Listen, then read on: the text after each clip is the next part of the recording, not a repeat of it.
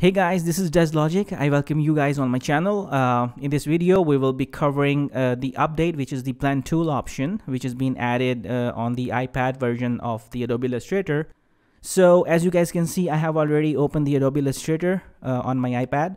Uh, so without further ado, let's get started.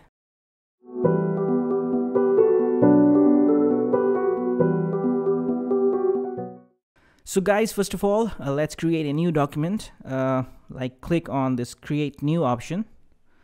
And um, I will go with this preset, so nothing fancy. Let's create that file.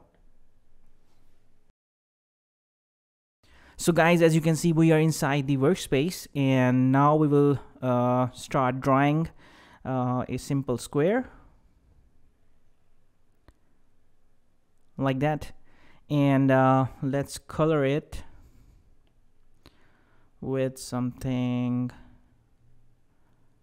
maybe darker like that.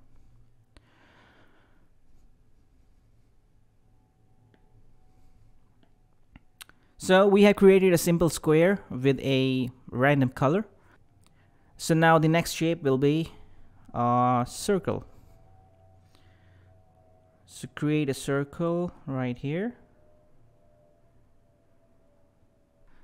And now uh, color this circle with something in lighter tone.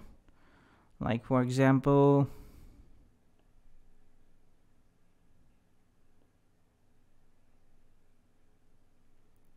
something lighter like that.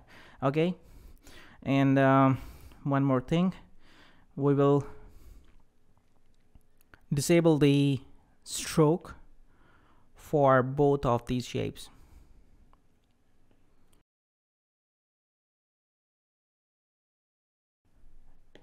So now as we want to use the blend tool option, we need to select both these shapes. So tap on the small circle and select both these shapes like that. So now uh, on the right side, uh, you will see the repeat option and in the repeat option there is a blend tool. Just tap on that. And you can see a fine gradient of multiple steps of this blend tool has been added in the workspace.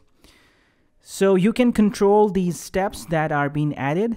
Um, for now you only see a gradient uh, shape but uh, if you select on this on the right side of the shape you can see if you can drag that down you can see multiple steps. Like this is one.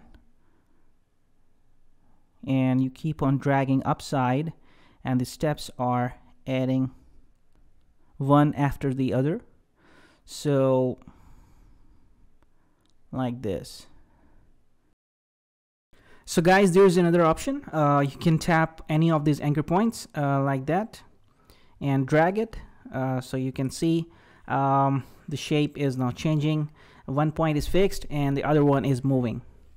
So same thing will be done uh, with the other anchor point uh, like that and tap on this and here you go. You can change it as per your need. You can also change the size uh, of this shape overall um, like that. So guys as you can see this is a very useful option and you guys can use it with the pencil tool and also with the paintbrush. So guys that's it for today. Follow me on instagram. Links are in the description. Make sure you subscribe to the channel and i will see you in the next one